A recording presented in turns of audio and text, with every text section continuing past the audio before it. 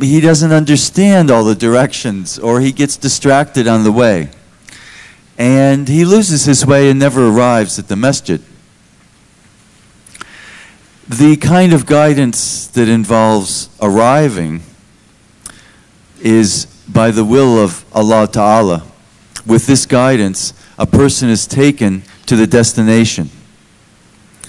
And so, in the above example, this would be when the person would actually take you by the hand and take you right there to the masjid.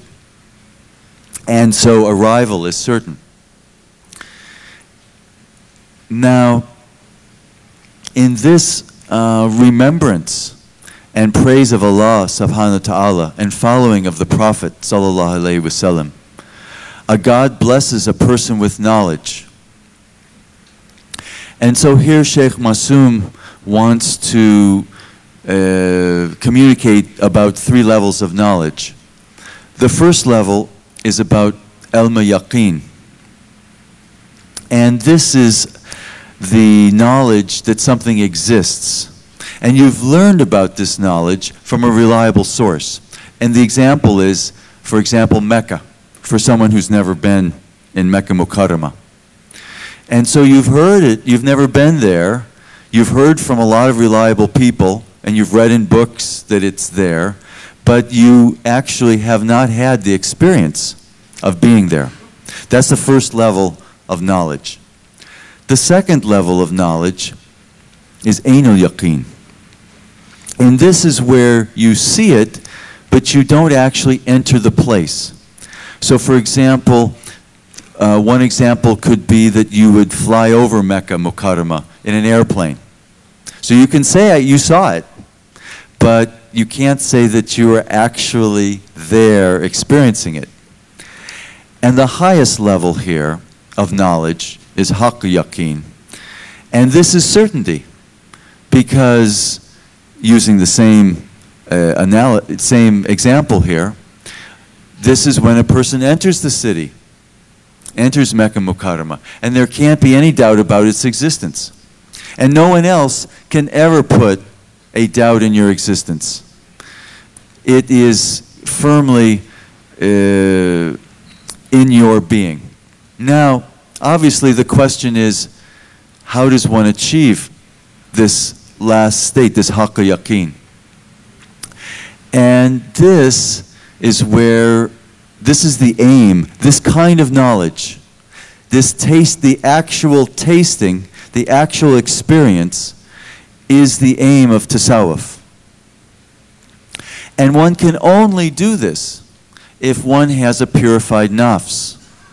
That's the reason why it's a human responsibility to conquer the nafs.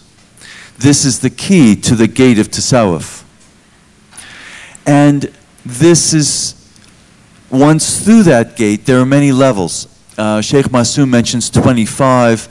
Some of them, for example, uh, involve repentance, others involve asceticism, another level would be virtue, ihsan. And for those who are privileged, you know, this is a great privilege to be able to experience and achieve these levels. And in Tasawwuf, one should be reminded, one should never forget, that Tasawwuf is based integrally on the Quran. So, my dear brothers and sisters, there are hundreds of definitions of tasawwuf. But there's one fact, and that is the difference between experience and talk. And so those who strive on the path toward this purification and conquering their nafs are the ones who, inshallah, will succeed in this greatest quest, this jihad al akbar following the blessed path of the Prophet. And in this way, they clean their heart from bad inclinations so their heart can be filled with the light of God.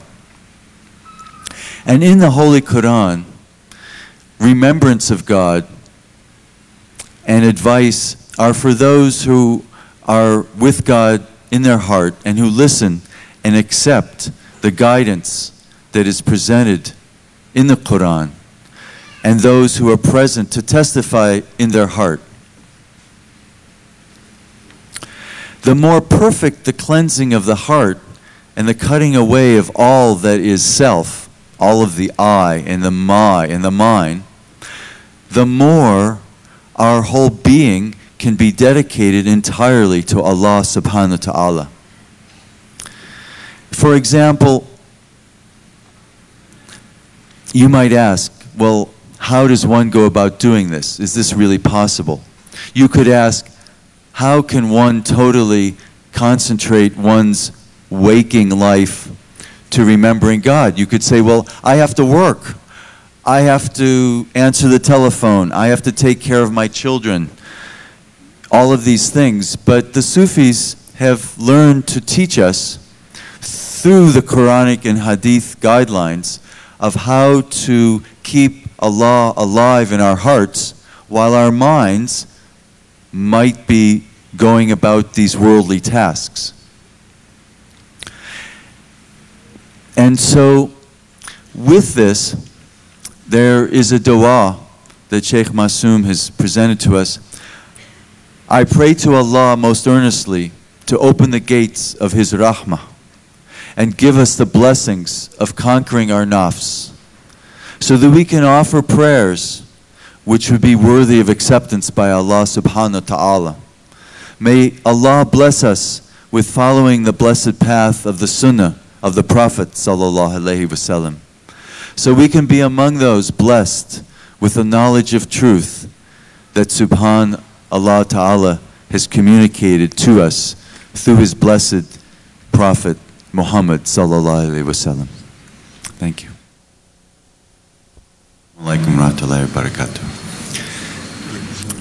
The title of um, my talk is the inner and outer aspects of following the Sunnah. I would like to start with a conversation um, where Shamsa Tabrizi, the Sheikh, the, the directing Sheikh of Mulana Rumi, is talking about Bayazid Bistami, a 9th century Sufi. They say, this is Shamsa Tabrizi speaking now, they say that Bayazid did not eat melons because Bayazid said, I have never found, found out in what manner the Prophet ﷺ ate melon. But Shamsa Tabrizi said, following the Sunnah is both superficial and meaningful. Bayazid has observed the superficial aspect of following the Sunnah, but he has failed to observe the truth and the meaning of following the Sunnah. Muhammad ﷺ says, Glory to God Almighty, Subhanallah. We have not worshipped you as it befits you. Bayazid says, Subhani, glory to me, how great is my station. And so basically, this is the message I'm going to try to communicate to you tonight that there's a big difference between not eating melons and following the sunnah of the Prophet. Now, sunnah originally meant a custom or a pattern of behavior to be followed. Later, it took on a technical meaning, which we use now, which is the ideal of Muslim behavior based upon the Prophet's words and deeds and customary practices, which is communicated in the authoritative hadith collections. And indeed, as we all know, the authority of the Sunnah is second only to the Quran. And the Quran itself states 13 times a message which is usually in the words of